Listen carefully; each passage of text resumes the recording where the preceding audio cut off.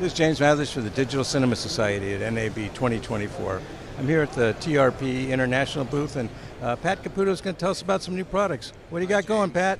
So, as uh, we've had for many years, all our uh, technical fabrics, we have a slew of different diffusions, bounces, uh, blue screens, green screens, just our wide variety of products when it comes to technical fabrics. One new product is our new Velcro compatible PolyPro and use them for tracking markers on your green screen.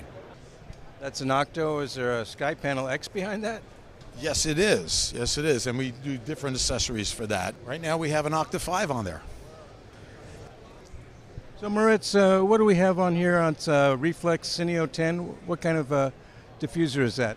That's a Magic Glove uh, diffusion in our lantern for Rabbit Rounder.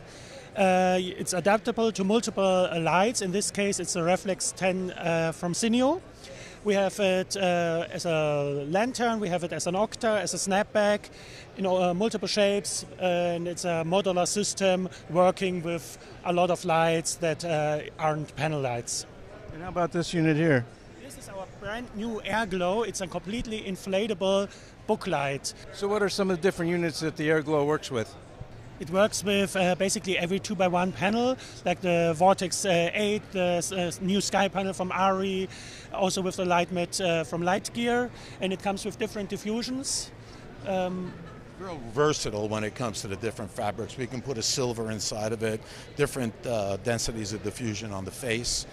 Just come up with uh, whatever uh, you know look that you're looking to uh, ultimately get from uh, the different fixtures that you put in there.